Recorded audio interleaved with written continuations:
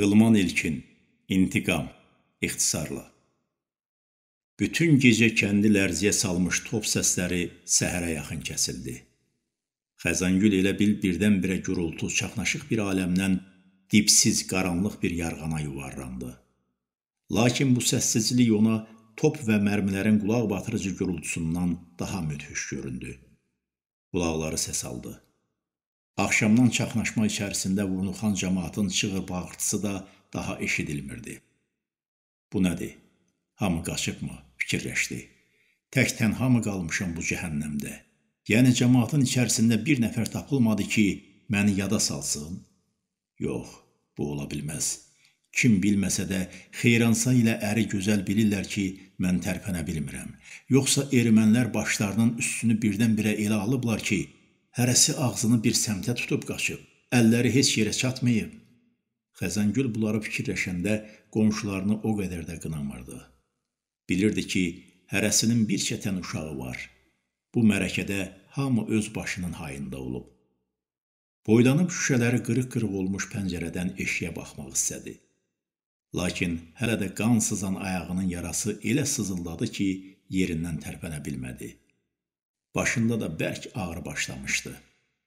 Sanki bütün gecəni bir dəqiqə çimir vurmamışdı. Top mərmiləri evlərinin lap böyründə partlayırdı. Dəqiqə bə dəqiqə gözləmişdi ki, onlardan biri də indicə damlarına düşəcək və onu körpəsi ilə birlikdə göyə sovuracaq. Zavallı körpə də süpədə kirməmişdi. Üç gün qabaq həyətlərinin ortasında partlamış top mərmisindən yaralanmış ayağının sızıltısı isə ara vermirdi. Ballırının sallana qalmış ətini yerinə yapışdırıb üstündən bərk-bərk sarısa da ağrısız kəsmirdi. Qanı hələ də sızırdı. Bu zaman burnuna hardansa yanğın iyi gəldi. Canını dişinə tutaraq yenə pəncərəyə tərəf boylandı. Dağların başı tüstüdən görünmürdü. Aşağılarda qoşa çınar tərəfdəki bütün evlər alov içində idi. Uçuq daş divardan qalxan toz torpaq buludları yanğının tüstülərinə qarışaraq burula-burula onlara tərəf yayılırdı. Birdən eşik tərəfdən hənirti eşidildi. Səslər getdikcə gücləndi. Xəzəngül yaxınlarda erməni danışıqlarını aydın ayırd edə bildi. Bundan dəhşətə gəldi. Aman Allah, ermənilər kəndə giriblər. Bədənini titrətmə bürüdü. Yarpaq kimi əsən əlləri ilə körpəsini beşiyindən qaldırıb sinəsinə basdı. Buz kimi soyuq yanaqları ilə süzülən göz yaşları anasını əmməyə başlamış körpənin də sifətini islatdı. Xəzangülün ürəyi sanki sinəsindən qopub boğazında çırpınırdı. Birdən qapıya vurulan təpik onu daha da sarsıtdı. Qapının cəftəsi yerindən qopub düşdü. İki nəfər yekəpər saqqallı erməni içəri soxuldu. Bir anlığa astanada durub otağa göz gəzdirdilər. Sonra əllərindəki avtomatı düz Xəzəngülə tərəf tuşladılar. Uzandığı yerdə sanki daşa dönmüş Xəzəngülün gözləri bərələ qalmışdı. Qorxudan kiprik də çala bilmirdi. Yoldaşından xeyli cavan görünən o biri erməninin belindən dəstəyi ceyran ayağından olan bıçaq da asılmışdı. O yoldaşını dümsüklədi. Sərkis dayı, Bunu deyəsən bizə qənimət qoyub gediblər axı. Bunu deyərək Xəzangülün yatağına yaxınlaşdı.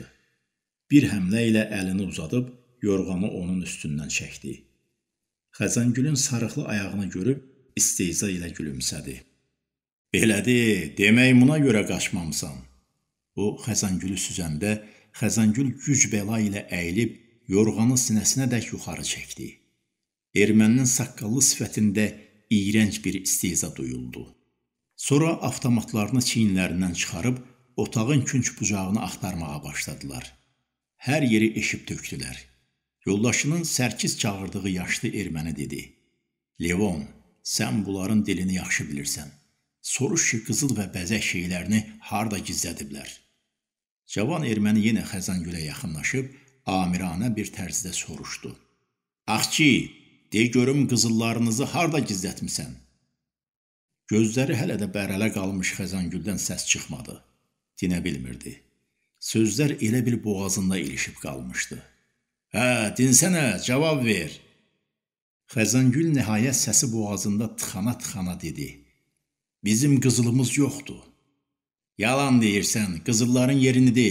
Görürəm sırğalarını da çıxarıb gizlətmisən. Bizim qızılımız yoxdur. Xəzangül yenə təkrar elədi. İnanmırsan, axtar bax. Yoldaşı soruşdu. Hə, nə deyir? Deyir ki, qızılımız yoxdur. Özümüz axtarıb taparıq. Müsəlman ola, qızıl olmaya, gəbəri özümüz taparıq. Levon Xəzangüldən uzaqlaşanda onu hədələdi. Heç şey yoxdur. Bunun əvəzində gör sənin başına nə oyun açacam. Onlar yenə də otağı eşələməyə başladılar. Bütün boğça bağlamalar açılıb evin içərisinə səpələndi. Əllərinə qiymətli bir şey keçməyəndə burunlarının altında ev sahibinin ünvanına söyüş yağdırdılar.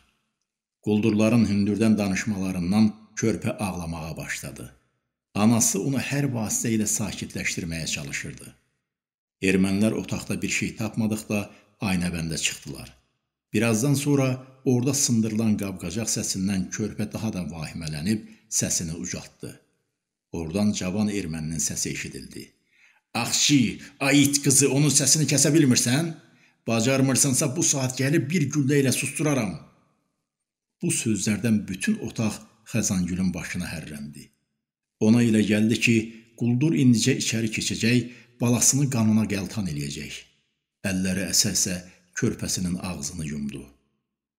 Balası isə nəfəsi darıxdığından ayaqlarını çırparaq ağlamağında davam eləyirdi. Bayırdakı yanğının isti nəfəsi içəri dolub onların nəfəsini tıxıyırdı. Görünürdü ki, yanğın onlara lap yaxınlaşıb. Xəzəngül başa düşdü ki, yanan onlarla qapı bir qonşu olan Səfər kişinin iki mərtəbəli mülküdür. Görünür ki, fikirləşdi. Bizi də ev qarışıq yandırmaq niyyətindədirlər.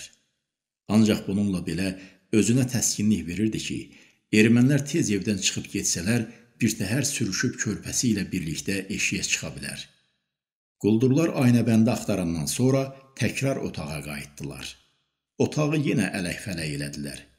Bir yer qalmadı ki, burunlarını soxmamış olsunlar. Birdən gözləri üstünə köhnə palaz parçası salınmış oturacağa sataşdı.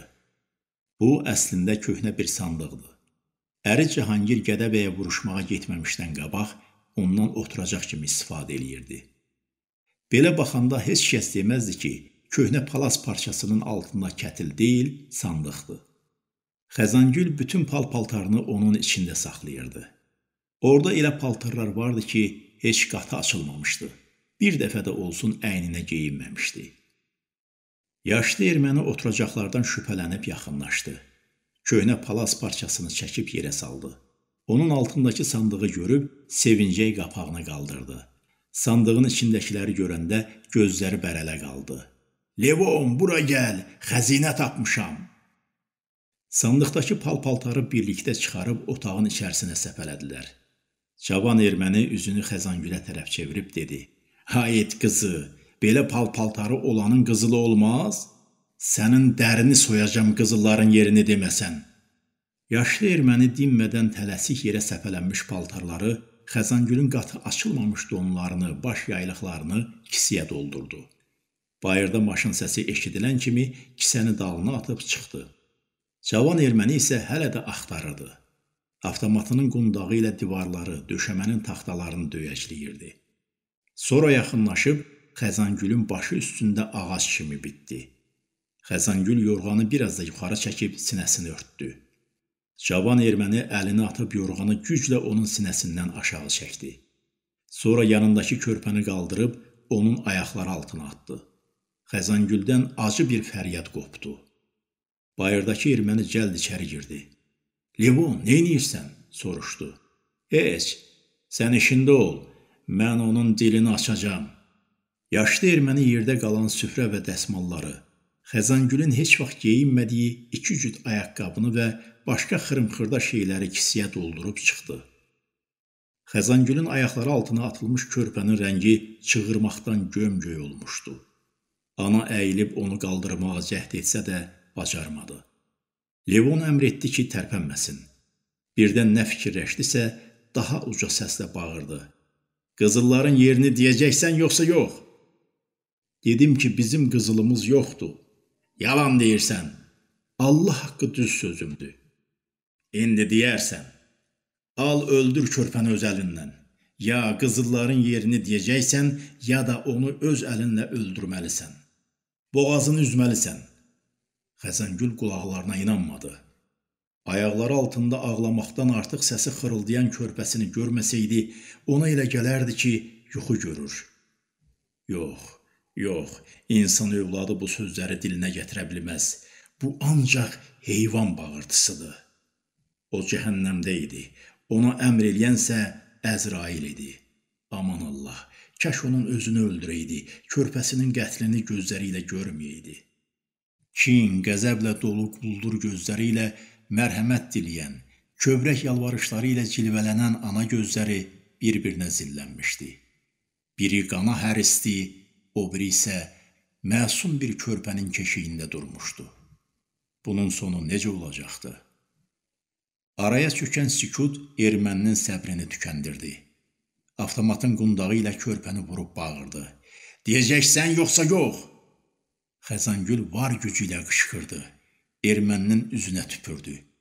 Alçaq, dedi. Erməni tövrünü pozmadan üzünü sildi. Gördün ki, mən sənin hərəkətini necə qəbul elədim? İndi görək sən də mənim hərəkətimin qarşısında belə sakit dura biləcəksən? Götür bıçağı. Xəzangül onun niyyətini əvvəlcədən başa düşmüşdü.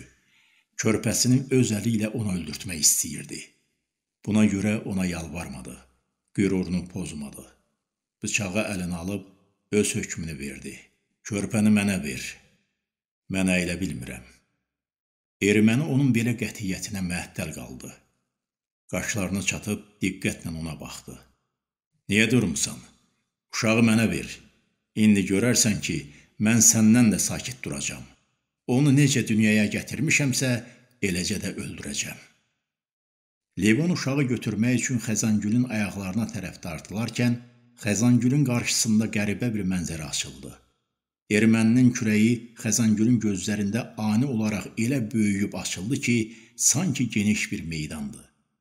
Ürəyində Allahı köməyə səslədi və bir anı belə itirmədən bıçağı elə bil hardansa qüvvət almış əli ilə düşmənin kürəyinə elə sancdı ki, erməni heyvan kimi bağırıb üzü üstə düşdü.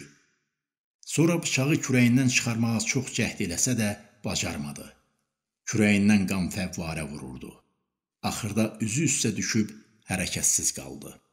Bıçaq düz ürəyinə sancılmışdı. Xəzangül donub qalmışdı. İnana bilmirdi ki, bu işi o tutub. Belə bir gücü o hardan ala bildi? Birazdan yaşlı erməni yüyürə-yüyürə içəri girdi. "Levon, nə olub?" soruşdu. Levonun kürəyinə sancılmış bıçaqla üzü üstə düşdüyünü görüb bir anlığa özünü itirdi. Yoldaşına kömək eləyib kürəyinə sancılmış bıçağı çıxarmaq əvəzinə bayra yüyürdü. Xəzangül isə daş heykəl kimi donub qalmışdı. Heç nə duymur, heç nə eşitmirdi. Ağlamaqda davam edən körpəsinin səsinə də sanki biganə qalmışdı. Ancaq onu hiss elədi ki, əlində avtomat içəri girən qoca erməni onu nişan alıb atəş açdı. Bundan sonra araya sükut çökdü. Yaşlı erməni Levonun yanına yüyürdü. Xəncəri onun kürəyindən çıxartdı. Bütün üst başı qana bulaşdı. Sonra Levonu nə qədər çağırdısa, ondan cavab çıxmadı. Ayağa qalxıb papağını çıxartdı və xaç vurdu. Bir an keçmədi ki, ikinci bir güllə də açıldı. Lakin bu güllənin səsini Xəzangül daha eşitmədi.